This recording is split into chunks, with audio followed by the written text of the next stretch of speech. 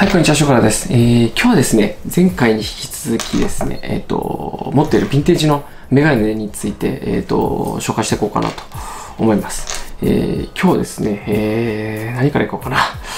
今日もですね、えっ、と、アーネルが多めというか、アーネルというか、タートですね、タートオプティカルがまあちょっと多めなんですけど、うーん、じゃあ、あえて全然関係ないやつから、えっとですね、こちらはですね、えっと、ランドルフですね。ランドルフという、うパイロット系の、あれですね。ちなみにヴィンテージのメガネって結構古くな、古くっていうかね、なんかその、保管状態が良くないというか、その、そいつ自体のその、なんかね、水分量とかがいろいろあって、これちょっとあんま素材的にあれなんですけど、なんだっけな、いつものこういう、前回紹介したこういうタートのアーネルとかのこの、なんだっけな、セルロイドじゃなくて、なんか、まあ、この、このやつですね、セルロイドかな。これのやつが水分量がこう、少なくなってくると、結構ですね、歪んできたりとか、ちょっとその、形がちょっといびつになったりとか、ちょっとね、良くないんですよ。で、水分、一回抜けちゃった水分ってもう入らないらしくって、だヴィンテージのその、保管状態が多分あんまり良くなくて、水分が結構抜けちゃったものは、もうこう結構手の施しようがない、いいとこまで行っちゃったやつは手の施しようがないみたいな感じらしいですね。まあ、うまいことその、なんてリスリストア、レストア、リストア、レストア？かな？レストア？って言ってなんかその表面磨いたりして、その、リカバリーできる部分もあるみたいなんですけど、それがもうできないやつは、お終わもうちょっとどうしようもないみたいな。もうこれ以上どうしようもないみたいな感じですね。まあ、木で言うともう腐った木で作ったものってもうどうしようもないじゃないですか。もうゼロから新しい木でやるしかないみたいな。そんな感じですね。なんか。で、えっと、その一つの他のあれとして、結構ね、ヴィンテージ臭いやつが出てくるんですよね。それも、ちょっとあんま良くないみたいですね。もうちょっと匂いが、酸っぱい匂いがするんですよ。あの、古いやつというか、古いっていうか、そのもう終わりかけてるやつというか、もうちょっと死に、うん。まあ、ちょっとね、匂いが出てくるやつもいますね。うん匂いがないやつは結構まだまだ元気。それだけで判断できないですけど匂いがあるあるやつはちょっとだから、うん、危険危険っていうかねちょっと良くない個体かもしれないっていう感じですね。はいすいません。話いろいろそれましたけどこれはランドルフというやつでちょっとかけてみますね。こんな感じです。はい。やっぱりですね前回言った通りですねえー、とあんまりメガネが似合わないんですよね。本当、うんメガネがね、似合わないんですよ。あんまり。好き。好きでもあんまないんですけど。まあでも、アイテムとして。で、これはもう元々入ってるブルーのレンズが入ってるんで、はい。このまんまって感じですね。これはあの、パイロットかな？だったかけるやつ。なので、えっ、ー、とね、年代はね、60か70ぐらいだった気がしますね。そんなに古くないはずです、確か。でも70年代のヴィンテージですね。はい。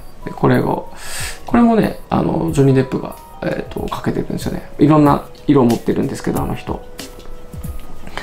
はい。ここはまっすぐなのが特殊ですね。多分ヘルメットとかかぶったまんまこうヒュッとかけれるみたいな感じだと思います、はい、結構ね調べるとこれかけてるでフェドラハットかぶってる写真結構見ます。ありますね。はい、まあ、これも、えー、ジョニー・デップ好きなんでうんと持って、うん、欲しいなと思ってこういうにしたやつですね。はい。っていう感じです。で、えー、次がですね、前回あのお見せしたあのアーネルの、えーと、ブラックウッドクリアのやつですね。のあっちはメガネだったんですけど、こいつは、うんと、サングラスにしました。えっとですね、薄いブルーが入ってます。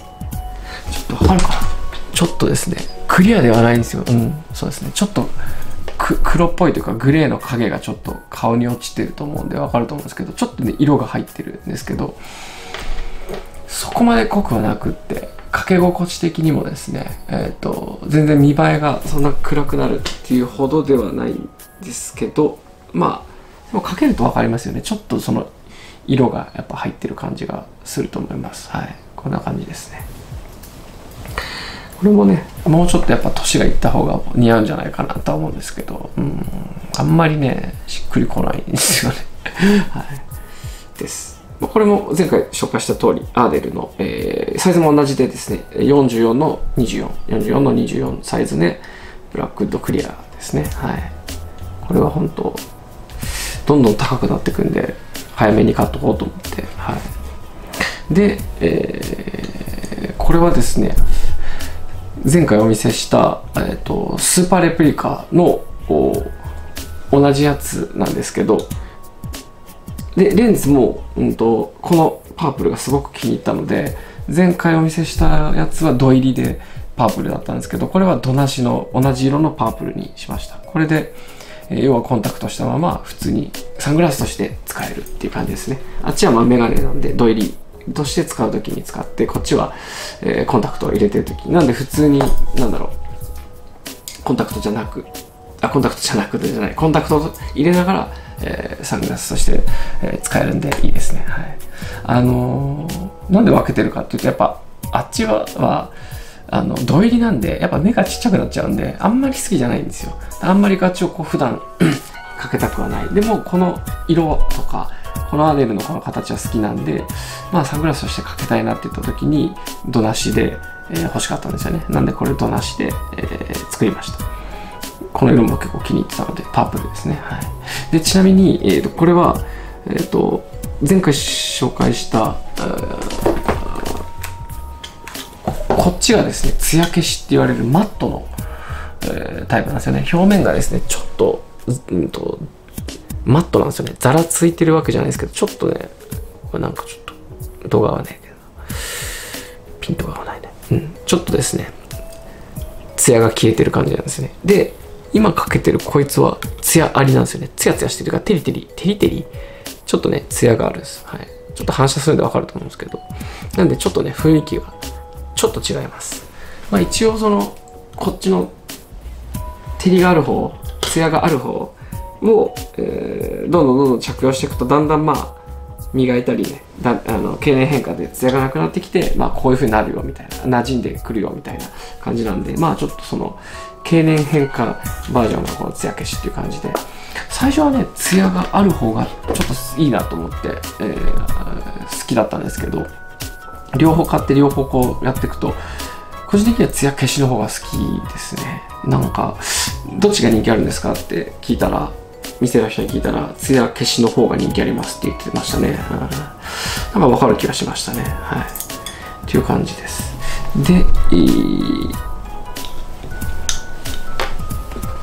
と、あとはですね、はい、タートの、これ同じくタートオプティカルなんですけど、形、えっ、ー、と、名前が変わりまして、ブライアンっていう形ですね。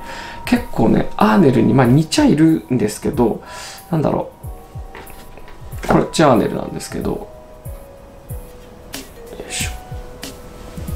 えっ、と、同じくサイズはこれ44の24かな？44の20、あ、ごめんなさい、22だ。こっちは、ここが22ですね。ちょっと短いやつです。でこっちのレンズはサイズ一緒です。44の、ここだけちょっと22なんで、2ミリ短いやつですね、ここが。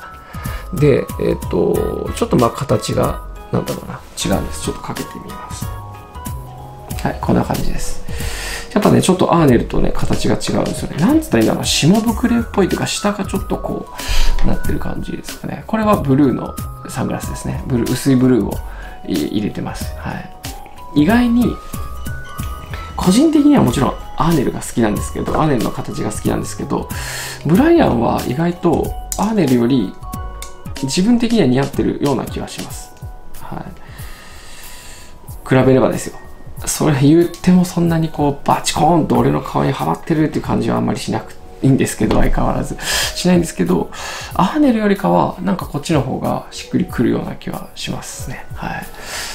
です。まあでも、うん、結構ブライアンは好きですね。まあこれも同じくタートオプティカルが好きで、まあ、アーネルを、これのクリアなやつとかを買った後に、ちょっと同じくタートが気に入ったんで他にないかなと思ってたら、このブライアン見つけて、ブライアンも同じような感じだったんで、これもデッドストックで手に入れました。で、レンズ入れてっていう感じですね。はい。で、一応、前にこのブライアンのこの茶色に、あ、違うな。これじゃないな。うん、ごめんなさい、なんでもないです。こっちだ。このブラウンクリアのこれメガネ前回紹介したメガネですけどブラウンクリア×クリアに青いこ,、まあ、これよりもちょっと薄いんですけど青のレンズ入れたらめちゃくちゃ相性悪かったです。なんかちょっとねヤンキーチックになっちゃったんですよね。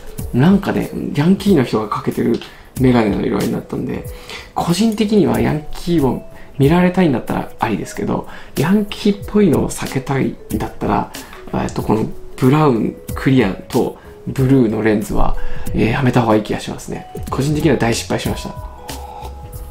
入れた後やっぱ作り直しましたね。はい。です。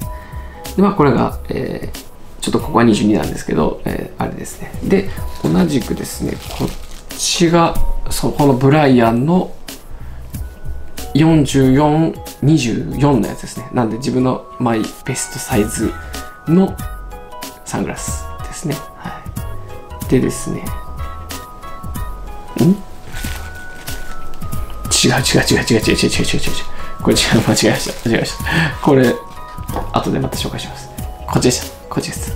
こっちがブライアンのえっ、ー、と44の24ですね。はい。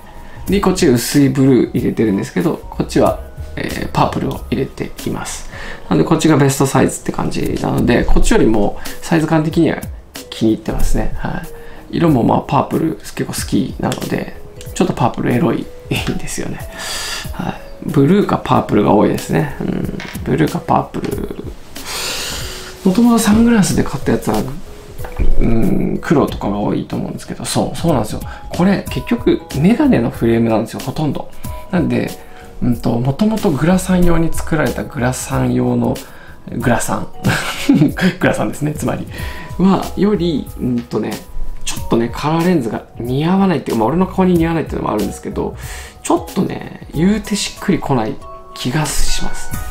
あのサングラス屋さんでそのレイバンとかを普通にかけるとそんなに悪くないっていうか結構似合うものが多いんですけどここら辺のねメガネに対してレンズカラーレンズを入れてかけるとなんかあんまりピンとこないですもちろん個人差あると思いますけどねでも自分の顔にはなんかねあんまり合わないですだから最初からサングラスはサングラスでサングラスとして作られたものをかけた方が似合うなという気はしますねこの辺はおとなしくメガネでかけた方が似合う気はでもそれは似合わないですけどねまあ、こんな感じですね。はい、こんな感じです。まあ、パープルで、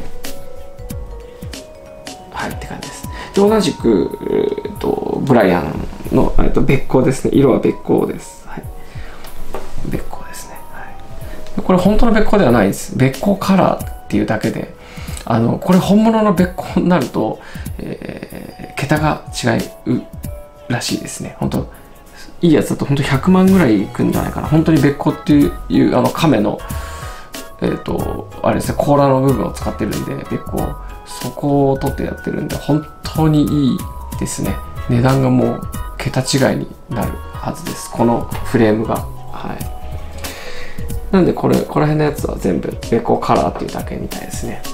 で、すいません。さっき間違えて、ブライアンって言ったやつは実はこれアーネルです。はい。えっ、ー、と、タートオプティカルのアーネルの別光ですね。えっ、ー、と、これもですね、個人的にはこのシークレットモデルと,、んと同じぐらい気に入ってて、本当に 1, 1位と言っても過言ではないぐらい気に入ってますね。はい。えっと、これ、ブルーの、え、普通のサングラスですね。入れて、ブルーレンズを入れてるんですけど、これも、えっと、その好きなジョニー・デップが、えー、かけてるやつですね。あの、ジョニー・デップがプライベートでかけてるのはほとんど、今はまああれですけど、他のかけてたり多いですけど、前前に結構メインっていうか一番多くかけてたのは多分これかなと思います。よくジョニー・デップ、いわゆるみんなが多分調べて引っかかってきてかけてるメガネって多分これだと思います。ジョニー・デップが。はい。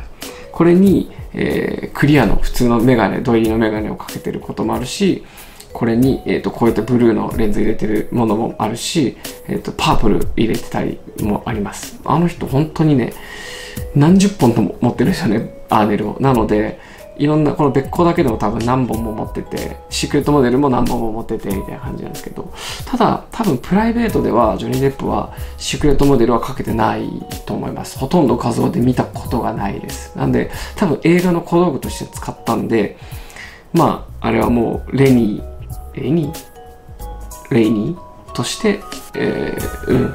もう役として使ったんで多分終わってんじゃないかなと思って本当にまあ本当の本当の家でとかを使ってるかもしれないですけどこうメディアに出たりとかっていう時はほとんどあのレイニー役の取材とかで以外は多分ほぼかけてない気がしますね。画像でほぼ見たことがないです。大体この別光かまあもっと全然違うサングラス。さっき言ったこのランドルフとかこっちとかもしくはメガネかけてなかったりっていうのがほとんどですねあとこのクリア系もほとんどあの人かけてるとこ見たことないですね。クリア系は多分持ってないのかな。あと、ピンクも多いですね。フレッシュっていう、あの、色があって、肉、肉の意味らしいんですけど、肉の色、ピンクの色ですね。はい。フレッシュな肉のっていう意味だと思うんですけど、そのフレッシュ、ピンクのクリアのやつですね。それも結構かけてて、それもね、すっごいこう欲しかったんですけどちょっと値段の兼ね合いとかちょっとタイミングが悪くてですねちょっと買い逃しちゃったんですけどちょっとねあそこも意外とうんかけてみたら意外にありだなっていう気がするんでちょっと欲しかった欲しかったんですけどね。はい。まあそんな感じです。でこれは結構気に入ってます。あとこれはレンズもちょっとですね凝ってあの変更レンズのヴィンテージの70年代くらいの変更レンズを入れてます。70、80だったかいや、でも70ぐらいかな。70ぐらいの変更レンズ入れてます。なので、え、ー、と、紫外線に当たると、えっ、ー、と、もっと濃くなります。はい。で、今、こう、室内とかで夜かけてたり、部屋とかでかけて紫外線がない状態だと結構薄くなります。なので、ドライブとか、すごい使いやすいですよね。ドライブとか行った時に、えーと、運転中は紫外線が入ってくるんで結構濃くなって運転しやすい。で、えー、お店にじゃあ入ってレストランとかに入ったらだんだんそれが抜けて色が変わって戻っていくんで薄くなっていくので店内でもまあそんなに取らなくても薄いので食べやすいというかまあ見やすいよっていう感じですね。はい。そんな感じです。結構ですねレンズも気に入っていて色も気に入っていて、えー、フレームとしてもものすごく気に入ってるメガネですね。はい。これもねやっぱ物がよすいやあの気に入りすぎてね怖くてあんまりかけれないですここぞっていう時ぐらいしかかけれないですけどでもここぞっていう時はあんまメガネかけたくないんですよね。メガネが似合わないんで。なのでなかなか使いどころが難しいんですけど、はい、で最後の1本がですねえっ、ー、と実は同じくシークレットモデルのえー、タートオプティカルアーネルのシークレットモデルの、えー、サングラスの、あ、というかクリアですね。えっ、ー、と、です。これはだから、えっ、と、クリアレンズですね。で、うんと、ドなしってことですね。はい。ドなしです。ちょっと待ってな、これ多分コンタクト逆に入れてるのはもすっごいゴロゴロする。えっと、はい。で、これも、実はレンズがですねちょっと特徴的であのガラスレンズにしました。あのレンズって今のレンズってですねプラスチックなんですよね。でプラスチックはもちろんいなんだろう良くも悪くも、まあ、割れにくかったりとか、うんと軽いとかいろいろあるんです。ただけどガラスレンズの方がやっぱ薄いし雰囲気も出るしあのヴィンテージの古いやつって結構ガラスレンズが多いんですよね。なので、うんと、そこに習ってですね、えー、ソラックザーデさんで、えっ、と、ガラスレンズを入れてもらいました。このガラス自体はヴィンテージだったっけな？ちょっとそこ覚えてないんですけど、現行で作ってたんだか、ヴィンテージであったガラスレンズだったか、ちょっと覚えてないんですけど、とにかくでもガラスのレンズを入れてもらいました。なので、こう今ライト当たるとキラッキラってすると思うんですけど、このキラキラがすごく入りやすいですね。確かガラスレンズだと。プラスチックのレンズだとそんなにならないんですけど、はい、反射はね。でもなんかねすごくいい雰囲気です。あとえっ、とね形がこの普通これもでもヴィンテージのレンズだな。えっとまあ普通のこういうレンズだと結構湾曲してるんですよね。こうカーブがあるんですけどこれはほとんどカーブがないですねなんかえっ、とね、直線ではさすがにこう、ドフラットではないんですけど、ここら辺が0.6とかだったかな。で、これ0.1ぐらいの、なんかね、要はこのカーブのこのあれが相当ないですね。極力フラットに近いみたいなやつで、まあ、フラットに近いとなんだっけっていう話なんですけど。まあでも多分銅を入れるとよりこうさっき言ったその目がちっちゃく見えにくかったりとかっていうところが作用してくると思うんですけどこれ土なしなんで、まあ、本当にこの光の反射の感じとかがあれです。あとまあ普通に音ですね。こうキンって置いた時に結構ガラスレンズだと音がなんかいいみたいな。ちょっとね重くて重厚感もあってかけてる感じもですねいいです。あと透明度がえっとねクリア度が違うんですよね。なんで、うんと、普通のここら辺のクリアのレンズを入れてると、やっぱちょっと、ちょっとどこか曇ってというか、ちょっとやっぱジャーっぽく感じるとこがあると思うんですけど、ガラスのレンズだとそれがあまりないかなっていう感じですね。結構クリアなので、ほんとまっすぐ見えるような感じですね。もうちょっとね、左目の コンタクトがコロコロしてて、それどころじゃなくなっちゃいましたけど、はい。っていう感じです。なので、えー、これで以上かな。えー、2、4、6、7本。あと8本。最後、これ、えっ、ー、と、これは現行の、現行じゃないか。ちょっと前のやつですけど、レイバンですね。いわゆる、これだけ、えー、メガネフレームじゃなく、本当にサングラスとして買ったサングラスって感じですね。はい。こんな感じです。で、やっぱりね、これはね、結構個人的には似合ってる。結構ね似合ってると思うんですよ。他のメガネのサングラスに比べて。あのティアドロティアドロップ型のこの黒のブラックの。これはね結構黒が強いんで本当に本当に日差しが強い時とかもうガチで運転で本当にこういうなんかちょっと薄いブルーとかじゃちょっとその本当実用性がないって思った時にかけるために、えー、用意してる、やつです。レイバンのですねブラックの、えー、サングラスですね。はい。ここは本当どっちかっていうとまあ実用メイン。あとレーバーももちろん好きなブランドなので結構前は持っててなんですけどほとんど手放してしまって今これしかないんですけどこれは結構本当形的にも色的にはすごく気に入ってたんでこれは普通に撮ってますね。はい。っていう感じですね。はい。ちょっと、えー、一通り、えー、これで紹介は終わりですね。はい。以上です。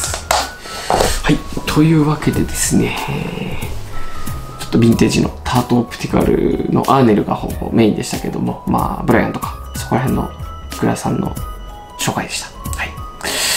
まあ、ご視聴ありがとうございました。